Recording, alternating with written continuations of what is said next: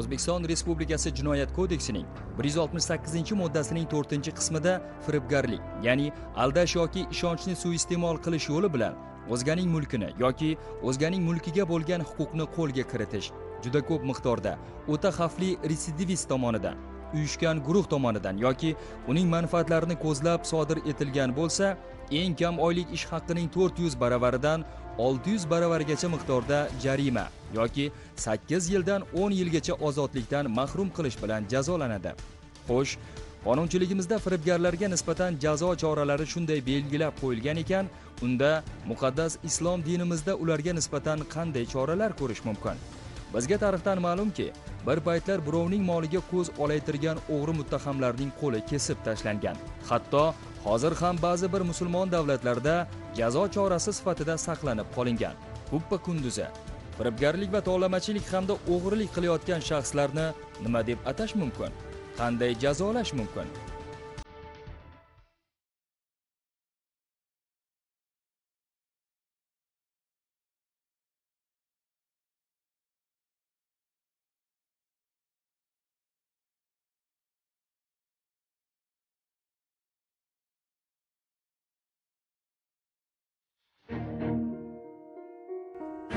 Bir ming to'qqiz yuz ellik to'qqizinchi yilda jizzax viloyatida tug'ilgan rahmatulla bekmirzayev xizmat mavqeidan foydalanib aldash yoki ishonchni suiiste'mol qilish yo'li bilan o'zganing mulkini yoki o'zganing mulkiga bo'lgan huquqni qo'lga kiritib noqonuniy boylik orttirish maqsadida jizzax davlat pedagogika universiteti fizika va texnologik ta'lim fakulteti va kafedra mudiri vazifasida ishlab kelib fizika va texnologik ta'lim fakulteti 306 guruh talabasi hamda sardori orif eshboyev bilan oldindan jinoiy til biriktirib bir guruh shaxslar bo'lib talabalarga yakuniy sessiya imtihonlarida 4 va 5 baho qo'ydirib berishni va'da qilib shu yo'l bilan ularni aldab ishonchiga kirib 2022 yil 4 iyul kuni talabalardan jami 5,5 million so'm pul mablag'larini firibgarlik yo'li bilan qo'lga kiritib o'z shaxsiy ehtiyojlari yo'lida sarflab yuborgan.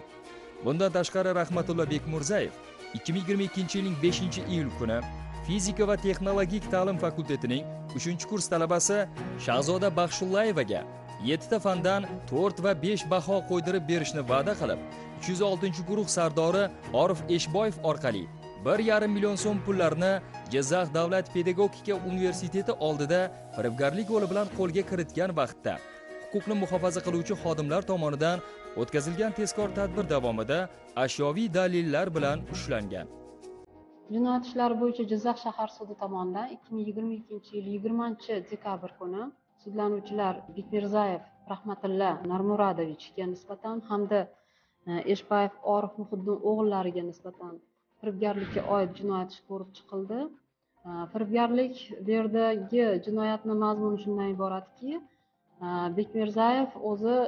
jizzax shahar pedagogika universitetida fizika fakultetida professor o'qituvchi kafedra mudiri lavozimlarida ishlab kelgan bir vaqtda ushbu universitet talabalaridan ularning ishonchiga kirib yakuniy sessiyalarini to'rt besh baholarga e, yakunlab berishni va'da qilgan holda har bir talabadan har xil miqdorda summada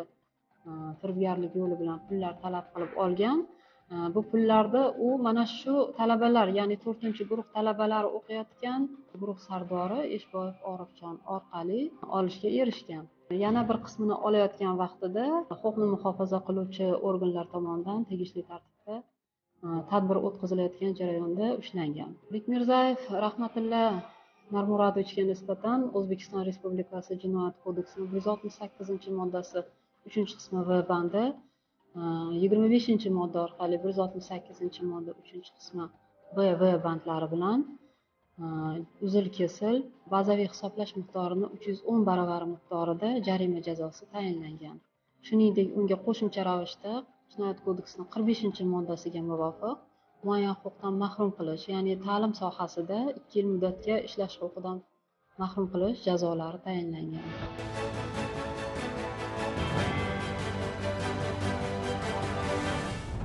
ikki minginchi yili samarqand viloyatining jomboy tumanida tug'ilgan oybek aliqulov sakkiz marta sudlanib ham aqli kirmadi. Pushaymon bo'lmadi. Oybek aliqulov xavfli retsidivist bo'lgani holda o'zgalar mulkini bosqinchilik yo'li bilan talon taroj qilib moddiy manfaatdor bo'lish maqsadida o'zining avvaldan tuzgan jinoiy rejasiga muvofiq 2021 yilning 27 mart kuni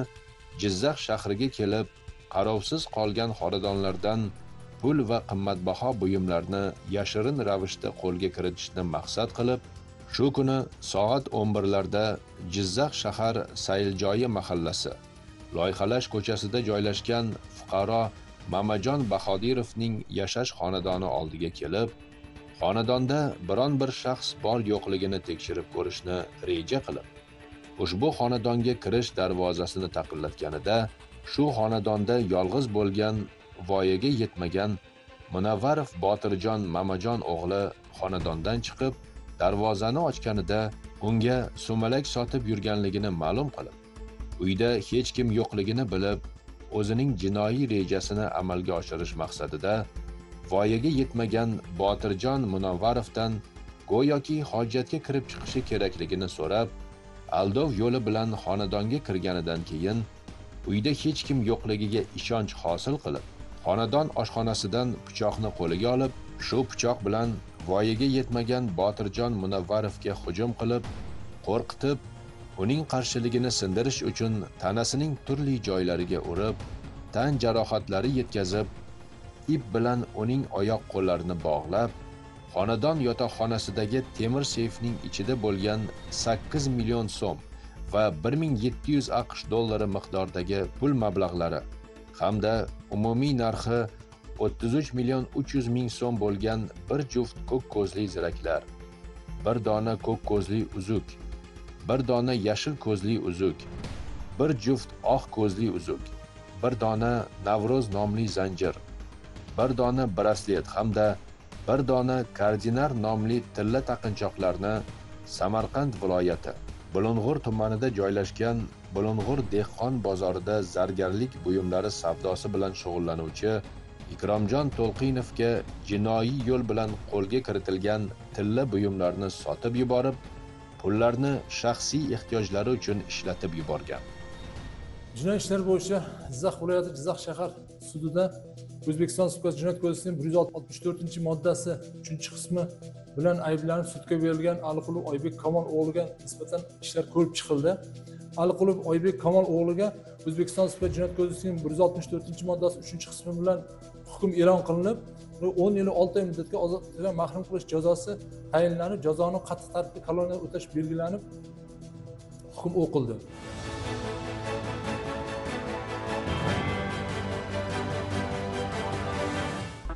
Dastlabki tergov organi tomonidan sudlanuvchi dilshod mamadiyorov o'zganing mulkini aldash va ishonchini suiiste'mol qilish yo'li bilan qo'lga kiritib moddiy manfaat ko'rish maqsadida 2023 yilning 7 yanvar kuni o'zi faoliyat olib borayotgan jizzax shahri mirzo ulug'bek mahallasi. Qodir bobo savdo majmuasining birinchi qavatida joylashgan aviakassa binosiga aviachipta rasmiylashtirish uchun murojaat qilib kelgan fuqaro komil po'latovning ishonchiga kirib unga 2023 yilning 11 yanvar kuni toshkent moskva yo'nalishi bo'yicha uchuvchi reysga o'zi bilan akasi bobomurod qulboyevning nomiga belgilangan tartibda 5 million 300 ming so'm evaziga ikki dona aviachiptalarni rasmiylashtirib berishni va'da qilib qalbakilashtirish yo'li bilan ikki dona aviachiptalarni berib 5 million 300 ming so'm pullarni aldash yo'li bilan qo'lga kiritib o'z shaxsiy ehtiyojlari uchun sarflab yuborgan. Bundan tashqari dilshod mamadiyorov o'zining jinoiy harakatlarini davom ettirib o'zi tomonidan tuzilgan jinoiy rejaga asosan 2023 yilning 14 yanvar kuni aviakassaga chipta rasmiylashtirish uchun murojaat qilgan norqul aliboyev va farhod ashurovlarning ishonchiga kirib ularga 2023 yilning 17 yanvar kuni toshkent moskva yo'nalishi bo'yicha uchuvchi reysga ikki dona aviachiptalarni qalbakilashtirish yo'li bilan tayyorlab berib ulardan 6 million so'm pullarni aldash yo'li bilan qo'lga kiritib o'z shaxsiy ehtiyojlari uchun ishlatib yuborgan. Sud sudlanuvchi jabrlanuvchi va guvohlarning ko'rsatuvlarini tinglab jinoiy ish hujjatlarini o'rganib chiqib va ishda mavjud bo'lgan dalillarga huquqiy baho berib sudlanuvchilarga nisbatan hukm chiqardi. Jinoyat ishlari bo'yicha jizzax shahar sudini 2023 yil 16 maydagi hukmiga ko'ra e, mamadiyor dilshod baxtiyor o'g'liga nisbatan jinoyat ishi ko'rib chiqilgan. Jinoyatini mazmuni shundan iboratki u o'zi e, tadbirkorlik faoliyatini yuritish maqsadida e, mchj ya'ni mas'uliyati cheklangan jamiyat tashkil qilib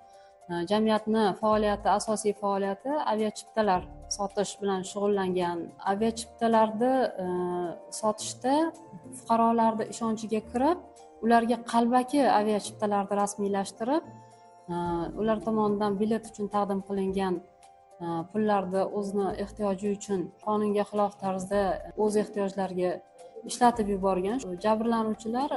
to'rtta nafar jabrlanuvchidan iborat bo'lib ular aviachiptani rossiyaga ya'ni o'sha rossiyaga ishlash uchun ketayotgan fuqarolar bo'lgan. Keyin toshkent shahriga borib aviachipta taqdim qilinganda bu qalbaki ekanligi o'sha tizimda ro'yxatdan o'tmaganligi aniq bo'lgandan keyin aldanganligini bilib qaytib kelib murojaat qilishgandagina o'z aybiga iqrorlik bildirib ularga tergov va sud jarayonlarida yetkazilgan moddiy zararlarni keyin qoplab bergan. Mamadiyorov dilshod baxtiyor o'g'li o'zbekiston respublikasi jinoyat kodeksini. bir yuz oltmish sakkizinchi moddasi uchinchi qismi b bandi hamda ikki yuz yigirma sakkizinchi modda ikkinchi qismi b bandi bilan aybli deb topilib unga nisbatan jinoyat kodeksining ellik to'qqizinchi moddasi tartibida jinoyatlar majmuiga ko'ra uzil kesil ish haqini yigirma foizini davlat daromadiga ushlab qolish sharti bilan ikki yilu uch oy muddatga axloq sochishlar jazosiga hukm qilingan. Bir ming to'qqiz yuz to'qson to'rtinchi yili namangan shahrida tug'ilgan islombek sodiqov ikki ming yigirma ikkinchi yilning mart sentyabr oylari davomida zafarobod tumani yorqin shaharchasi suvchi ko'chasi oltinchi uyda yashovchi xo'jabekovni aldab uning ishonchiga kirib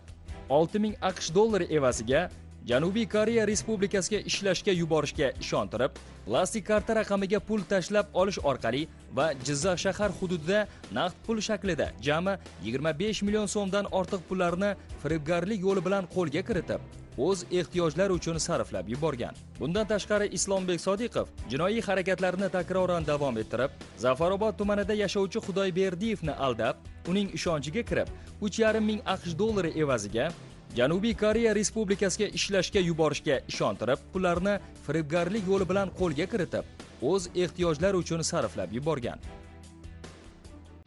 Ish hujjatlariga ko'ra sodiqov o'zgalarning ishonchiga kirib olti nafar fuqaroni koreya davlatiga ishlash uchun yuborishni va'da berib jami ulardan bir yuz yigirma million so'm pullarni firibgarlik yo'li bilan qo'lga kiritib o'z ehtiyojlariga ishlatib yuborgan. Sud unga nisbatan jazo tayinlashda ushbu zarar miqdorining qoplanmaganligini inobatga olib jazo tayinlandi. Jinoyat ishlari bo'yicha forish tuman sudining ikki ming yigirma uchinchi yil o'ninchi yanvardagi hukmi bilan sodiqov islombek siddirjon o'g'li o'zbekiston respublikasi jinoyat kodeksi bir yuz oltmish sakkizinchi moddasi uchinchi qismining b bandi bilan aybli deb topilib unga jinoyat kodeksi ellik yettinchi moddasi qo'llanilib ya'ni muayyan huquqdan mahrum qilinmasdan besh yil olti oy muddatga ozodlikdan mahrum qilish jazosi tayinlandi. Tayinlangan ozodlikdan mahrum qilish jazosi umumiy tartibli koloniyalarda o'tash belgilandi. bir ming to'qqiz yuz yetmish yettinchi yili g'allarol tumanida tug'ilgan muqaddam bir necha bor sudlangan anvar toshboltayev o'g'irlik ya'ni o'ta xavfli retsidivist tomonidan uy joy omborxona yoki boshqa xonaga g'ayriqonuniy ravishda kirib o'zganing mol mulkini yashirin ravishda talon taroj qilishda ifodalangan jinoyatni quyidagi holatlarda qasddan sodir qilgan. Jumladan u 2022 yil 24 noyabr kuni soat 10 yarimlarda o'zganing mol mulkini yashirin ravishda talon taroj qilish maqsadida spirtli ichimlikdan mast holatda g'allarol tumani olimlar mahalla fuqarolar yig'ini ziyotov ko'chasi 47 uyda yashovchi fuqaro shahnoza karimovaning yashash xonadoniga darvoza orqali g'ayriqonuniy ravishda kirib xonadondan shahnoza karimovaga tegishli bo'lgan umumiy bahosi 6 million 630 ming so'mlik turli xildagi kiyim kechaklar va buyumlarni yashirin ravishda talon taroj qilib hodisa joyidan yashiringan. Jinoyat ishlari bo'yicha g'allaorol tuman sudi tomonidan tashbiltayev anvarga nisbatan jinoyat kodeksining bir yuz oltmish to'qqizinchi moddasi to'rtinchi qismi b bandi bilan jinoyat ishi ko'rib chiqildi. Jinoyat ishi natijasiga ko'ra unga nisbatan sakkiz yil olti oy muddatga ozodlikdan mahrum qilish jazosi tayinlandi sudni bu to'xtamga kelishiga asosiy sabablardan biri sudlanuvchi tashbiltayev muqaddam uch marta sudlanib mutaxallir ishsizlik sifatida e'tirof etilganligi sud tomonidan. Uni jazosini og'irlashtirish holatlari sifatida e'tirof etildi hamda shu yuqorida tomonga keldi. Mamlakatimizda inson huquqlari erkinliklari va manfaatlarini har jabhada himoyalash birinchi o'ringa qo'yilayotgan bir paytda insonparvarlik va odillik prinsiplarini to'la to'kis amalga oshirish qonun ustuvorligini ta'minlash barcha mansabdor shaxslarning huquqni muhofaza qiluvchi organlar hamda odil sudlovning bosh vazifasidir.